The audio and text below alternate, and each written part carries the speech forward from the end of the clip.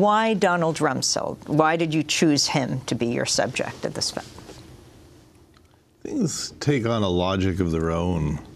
I had made The Fog of War about Robert S. McNamara, um, a, a, central figure for me uh, as a young man uh, because of the war in Vietnam. Uh, one of the great disasters in American history. And I made the movie because of questions about that war. How did we get into such an incredible mess?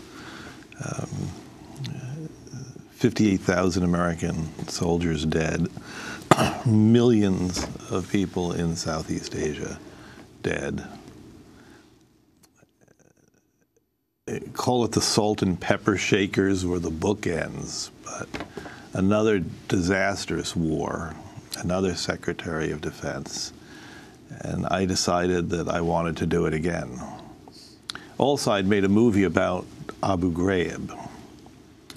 So there are a whole number of uh, issues which are of great interest to me.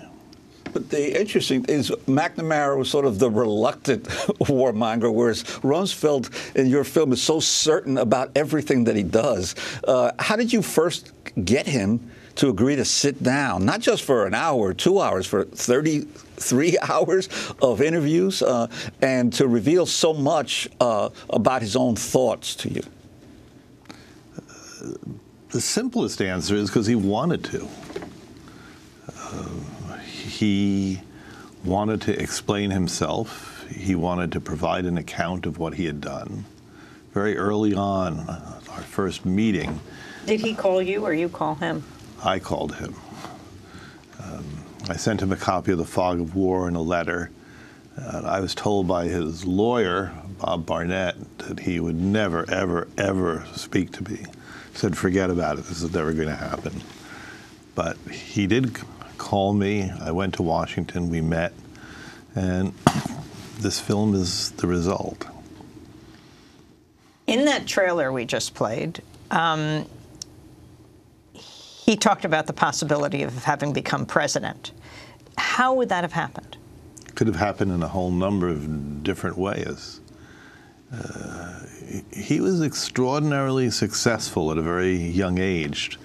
Uh, four-term congressman from Illinois, and then a whole number of cabinet-level appointments in the Nixon administration. He was the youngest secretary uh, Secretary of Defense in the history of the country. uh, eventually, in the Ford administration, one of the youngest chiefs of staff, if not the youngest, uh, before uh, his assistant, Richard Cheney, took his place, uh, and then the youngest Secretary of Defense. He has that distinction of being the youngest and the oldest Secretary of Defense. First time around for Ford, and of course, second time around for George W. Bush. He wrote like 20,000 memos. They were called snowflakes because there were so many of them. Probably and they were more, on white paper. Probably more than 20,000. I want to turn back to the film, Unknown. How about known. a lot? We'll call them, he wrote a lot. Donald Rumsfeld talking about those memos that he wrote on Iraq. If you look at the range of my memos, there might be one tenth of 1% about Iraq. The reason I was concerned about Iraq is because four star generals would come to me and say, Mr. Secretary, we have a problem. Our orders are to fly over the northern part of Iraq and the southern part of Iraq on a daily basis with the Brits, and we are getting shot at. At some moment, could be tomorrow, could be next month, could be next year, one of our planes is going to be shot down, and our pilots and crews are going to be killed or they're going to be captured.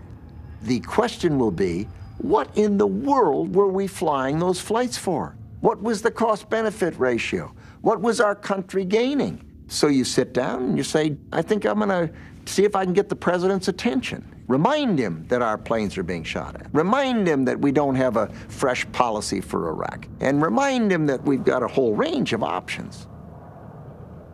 Not an obsession, a very measured, nuanced approach.